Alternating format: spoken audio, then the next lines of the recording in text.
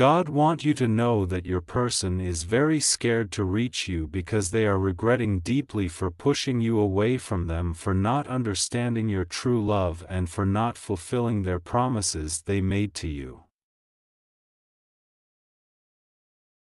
Very soon they will overcome this stupidness ego and reach you to prove their genuine love for you and it will create a sense of trust between you both a loyalty in your relationship with a lots of love and intimacy.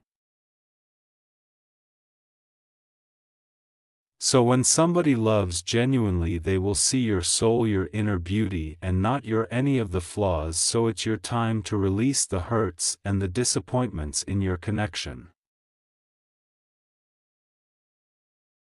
They cry and they deeply regret for everything as no one can take your place in their heart their love is true for you but due to some negativities it happened as it was a divine plan and now they want to put their efforts to, win your heart.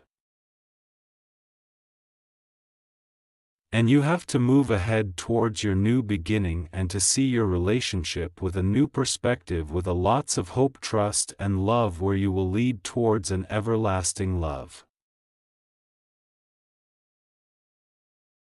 A long-lasting relationship which is loving and very loyal and which brings a harmony into your love life. So move forward for a new beginning. Affirm my relationship is healed by letting go all the hearts between us. I attract a fresh and a beautiful long-lasting relationship with my person. Thank you angels for this new beginning. Thank you so much. Thank you.